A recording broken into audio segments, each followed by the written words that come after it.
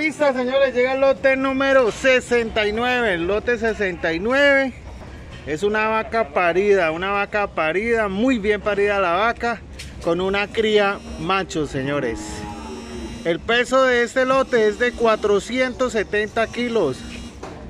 Llegó de Puerto Boyacá y la base, base muy cómoda.